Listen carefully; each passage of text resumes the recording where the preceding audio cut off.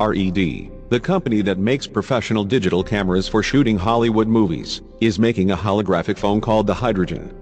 The company is touting the Hydrogen as the world's first holographic media machine, and says it doesn't require glasses to see the supposed holograms. The 5.7-inch phone runs Android, and pre-orders are available in two tiers. It costs $1,595 for the titanium high-end version, and $1,195 for the aluminum slightly lower-end version. The phone ships in 2018. According to RED's announcement, the Hydrogen has a professional hydrogen holographic display, which seamlessly switches between traditional 2D content, 3D content, and interactive games. According to the company, the screen is capable of displaying holographic RED Hydrogen 4 view content, H4V, stereo 3D content, and 2D 3D VR, AR, and MR, mixed reality.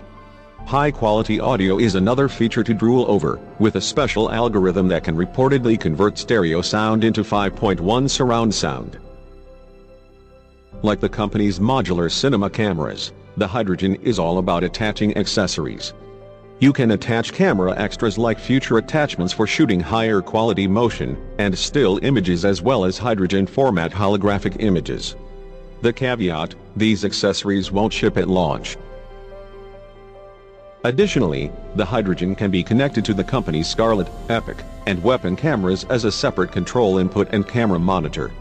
And that's basically it. We have no idea what processor it has, or how much storage, or RAM, or anything else about the camera.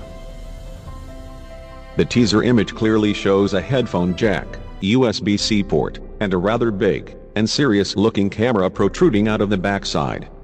RED's website says it will have a micro SD card slot, though. There's also a prominent red-colored record button on the side, and what looks like indentations for you to possibly grip the phone. It's a weird design that's very industrial looking just like RED's cinema cameras. Is the phone overkill? It sure looks like it, but that hasn't stopped YouTubers like MKBHD from using RED cameras to shoot 8K resolution videos. The Hydrogen is clearly not for everyone, and aimed squarely at the RED camera fanbase and other camera nerds. That rear-facing cam better be excellent, because for the $1,200 price, it's definitely not a phone made for the average Joe.